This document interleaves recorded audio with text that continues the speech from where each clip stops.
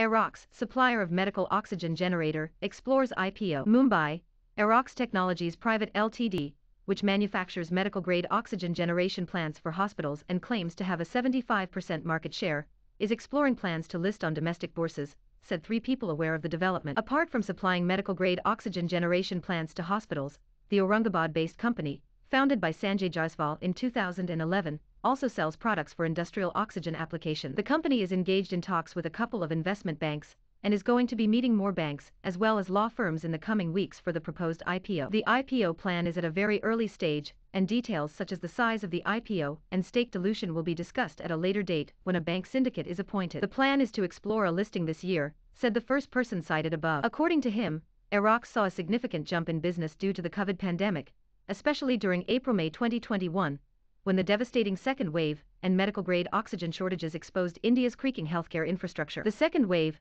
which saw peak daily cases of over 400,000 across the country, triggered an oxygen supply scarcity, resulting in patients having to scour for oxygen cylinders from private markets and black marketeers. India's medical oxygen supply chain was severely disrupted due to the steep rise in demand, from 3,842 metric tons per day on April 12, 2021 to 8,400 mt per day by April 25, and further up to 11,000 mt per day by the beginning of May, before gradually reducing as the number of fresh cases fell. Noted Observer Research Foundation in a June report. The company has revenues in the range of 100 to 200 Indian rupees crore, but is highly profitable, the first person cited above said. Emails sent to promoter Jaiswal did not elicit a response till press time. The company has more than 850 oxygen plant installations across the country, according to its website. While the pandemic has helped the company scale up its revenues sharply, some expressed concerns over the sustainability of its growth. The company is doing very well currently, but one cannot be sure how the pandemic will pan out and if we will have variants in the future that are not as severe as Delta in the past, and thus reduce the number of hospitalizations. So the future growth prospects can be a concern for investors,